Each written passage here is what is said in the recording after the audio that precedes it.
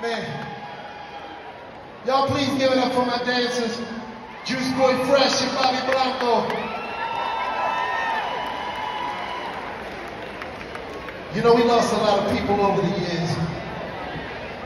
So we blessed to be here, y'all.